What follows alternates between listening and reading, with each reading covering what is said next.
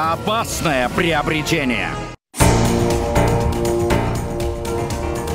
Покупка подержанной машины даже в салоне по-прежнему рискованная лотерея. Я старший менеджер. Вместо гарантии и юридической проверки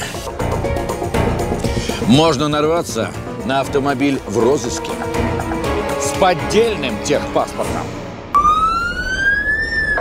Слышу крякалки, мигалки и понимаю, что это полиция за кем-то гонится. Известный продюсер Сергей Пудовкин не сразу понял, что опасный преступник, которого ловит полиция, это он.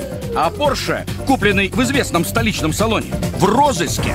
И мне показывали Бентли, показывали Мазерати. Там была машина семерка стоимостью 62 миллиона рублей.